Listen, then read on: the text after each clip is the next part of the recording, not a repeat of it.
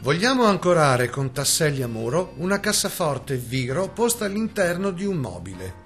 In questo esempio si è scelto un modello di cassaforte RAM 7.4 elettronica con display, ma ciò che verrà mostrato è valido per tutti i modelli da esterno. Apriamo con un cacciaspine o con un trapano i fori pretranciati sul retro e o sulla base della cassaforte.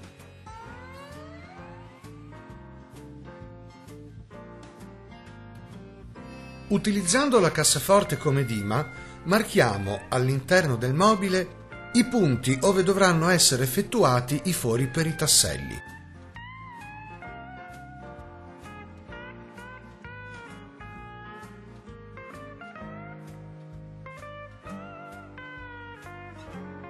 Rimossa la cassaforte, foriamo il mobile ed il muro al quale esso è appoggiato.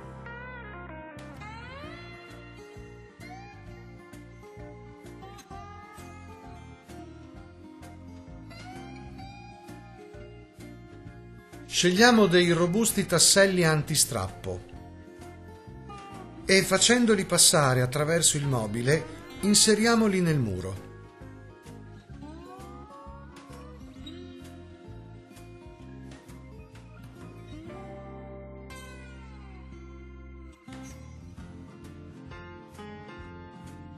Prima di fissare la cassaforte se si tratta di un modello elettronico, come nel nostro esempio, inseriamo le batterie facendo attenzione a rispettare la polarità stampata sia sul coperchietto del vano pile sia sul box portabatterie.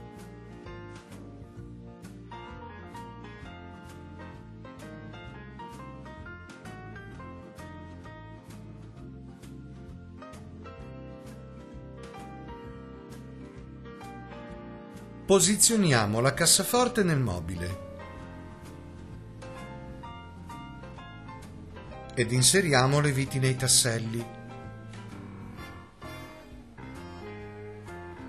serrandole bene, aiutandoci con una chiave. Dopo aver impostato un codice personale, rimuoviamo l'etichetta gialla che impedisce l'uscita accidentale dei catenacci e chiudiamo la cassaforte.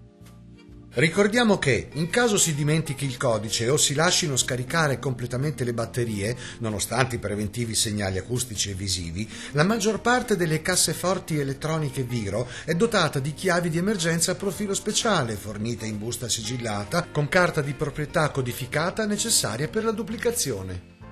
Rimuovendo il tappino che si trova vicino al pomolo, è possibile inserire la chiave di emergenza ed aprire la cassaforte. Sottolineiamo anche l'importanza di fissare la cassaforte in un luogo non facilmente individuabile. Grazie per l'attenzione.